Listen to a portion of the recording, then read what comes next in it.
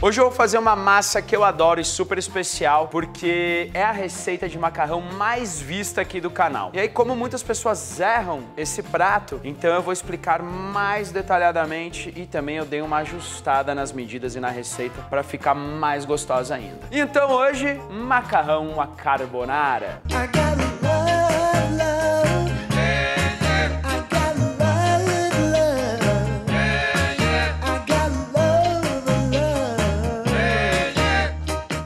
A carbonara e o cacio e pepe podemos dizer que são os pratos mais famosos de Roma. Não da Itália inteira, tá? Porque não se come carbonara no norte ou no sul. Quer dizer, come, mas não é aquela coisa típica, né? Então essa é uma receita muito simples, porém dá pra errar. Então com as dicas que eu vou te dar hoje, seu carbonara nunca mais vai virar ovo mexido. Eu vou fazer a receita clássica, mas é claro que você pode adaptar aí, eu vou dar as opções. E nela leva guanciale e não bacon. Guanciale é a papada do porco, né? Pega um pouco da bochecha e o papo. Então, tem uma faixa de carne e tem também uma generosa faixa de gordura. Essa peça ela é curada. É um processo meio parecido com o do presunto cru. Então ela é curada com sal, especiarias e aí fica desse jeito aqui. Eu sei que é muito difícil achar o guanciale, então se você quiser usar pancetta curada, que é um pouco mais fácil de encontrar, pode ser também ou vai pro bacon. Então eu vou tirar aqui um pedaço, coisa linda. Importante tirar o couro, né? Se você quiser luxar, taca isso aqui no feijão. Então, ó, eu vou fazer aqui umas tirinhas, tá vendo? Pode ser cubinho, o que seu coração mandar. Só não corta muito pequeno, porque depois ele diminui de tamanho, porque a gordura derrete. Frigideira fria, coloco aqui meus pedacinhos. E agora sim, fogo médio pra baixo. E por que, que eu não coloco na frigideira já quente? Porque eu quero que a gordura derreta bem, lentamente e depois vá caramelizando e dourando toda a carne. Então, tá vendo? A gordura derretendo, ficando no fundo da frigideira. O guanciale, ó, tostando lentamente. Então eu vou virar eles aqui. Enquanto termina de grelhar, vou adiantando a etapa do molho, que é muito simples. A base do molho do macarrão são os ovos. Tem algumas pessoas aqui no Brasil que adoram fazer aquele carbonara muito pesado, cheio de gema, com um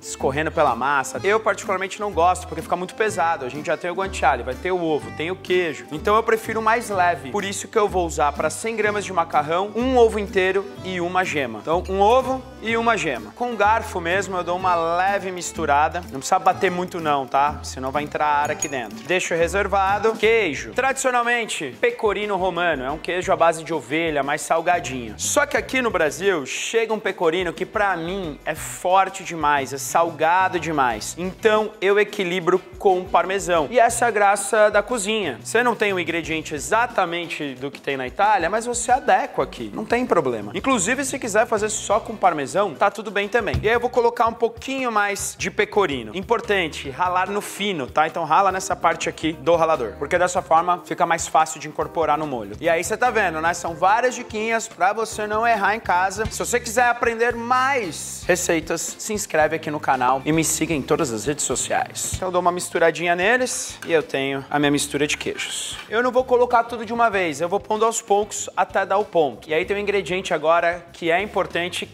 clássico da receita, não é só pra usar como temperinho não. Pimenta do reino preta, moída no grosso. E aí só misturar. Na hora que eu pego e levanto, tá vendo que tá muito mole ainda? Posso pôr mais queijo. Vai tudo que eu ralei aqui mesmo. Misturo novamente. E esse é o ponto, ó. Não fica nem tão líquido, mas também nem tão pesado. Agora sim, o um momento importante que é o ingrediente, né? Porque sem macarrão, nada disso acontece. E aí fica uma dica. Eu vou usar uma pasta seca feita com granoduro, que é uma farinha de trigo mais premium, que dá uma textura melhor na boca. É mais difícil dela passar do ponto e, na minha opinião, ela solta mais amido, até um amido diferente, que ajuda a emulsionar, a misturar tudo isso, que é a água do cozimento com a mistura de ovos e a gordura do guanciale. E aí eu vou usar o linguine da linha Superiore da Renata, que é feita com trigo granoduro. Então é muito legal que uma marca brasileira esteja fazendo um produto de tanta qualidade com uma farinha muito boa e com uma variedade de cortes, porque tem espaguete, tem fusilli e tem até massa de lasanha. Não adianta só você ter um macarrão de qualidade se não cozinhá-lo da forma certa. Então água fervendo e a cada 100 gramas de macarrão que você for cozinhar, um litro de água. Não precisa pôr azeite, óleo, nada disso. Ainda mais se a massa for granodura. E aí eu coloco uma colher de sopa rasa de sal. Então, uma diquinha pra você abrir o macarrão, pelo menos eu faço assim, ó.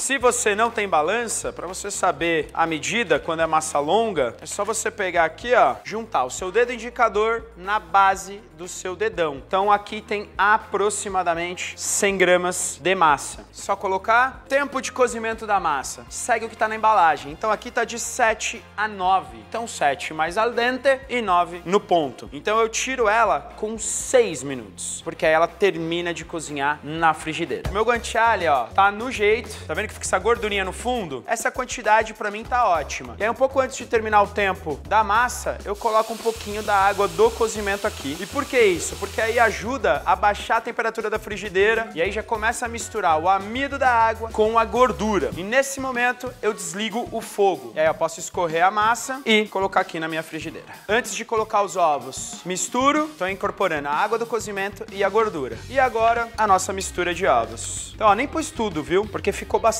E aí colocou, na hora já começa a misturar. E aí essa mistura do calor da massa com tudo que a gente fez antes, a água do cozimento, a gordura, tudo isso vai se envolver e formar um molho super cremoso, sem precisar de creme de leite. Se precisar, você pode colocar um pouquinho mais da água do cozimento. Não é o caso aqui, ó. Está vendo? O molho já tá, ó, bem preso na massa. Caso você coloque um pouco de líquido a mais ou você sinta que a sua massa perdeu um pouco de temperatura, o que, que você faz? Põe em cima da panela da água do cozimento, deixa uns dois minutinhos, dá uma mexidinha que vai chegar no ponto. Carbonara pronto. Viu como é fácil? E rápido.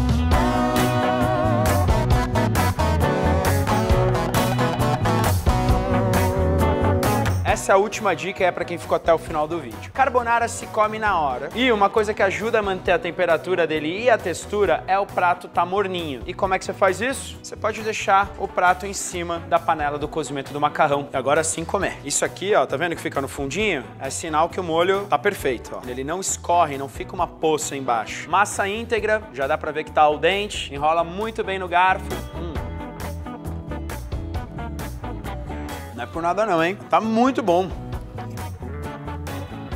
Hum, Como eu fritei o guanciale devagarzinho, mesmo com a água, o molho e tudo, ele ainda segue crocante e suculento por dentro. Sabores bem equilibrados, né? Então você sente o queijo, você sente essa untuosidade do ovo, mas tudo na medida certa. A textura da massa tá incrível também. Então é 10 de 10 e o seu carbonara vai ser mil de 10. Um beijo e até a próxima receita.